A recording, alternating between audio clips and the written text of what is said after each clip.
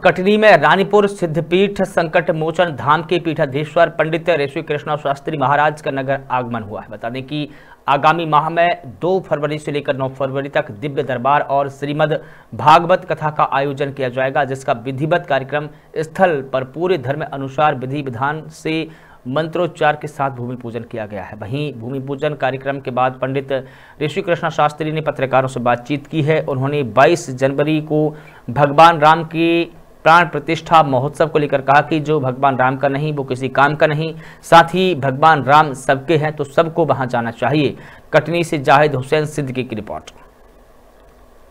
आज जहाँ पहुँचे, बालक जैसी उम्र है। हम जैसे शायद आपके बालक ठीक है?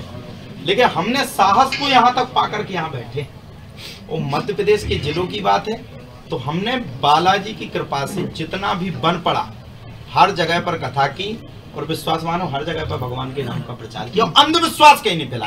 यार, हमने अंधविश्वास कहाँ से फैला दिया? किसी ने अंधविश्वास कैसे फैला दिया? किसी संत ने कैसे फैला दिया? यार, हम दरबार लगा रहे कोई गलत तो कर नहीं रहे। अगर हम सनातन से जोड़ रहे तुम्हें अगर हिंदू से जोड़ रहे हिंदू से जुड़ना या अपने भगवान से जुड़ना, क्या अंधविश्वास है? क्या दरबार लगाना अंधविश्वास है? भले ही आपके अंदर कुछ भी चले, क्या हनुमान जी से जोड़ना, या हनुमान जी से मिलाना, या अपने सत्य सनातन धर्म से मिलाना, क्या क्या ये अंधविश्वास है?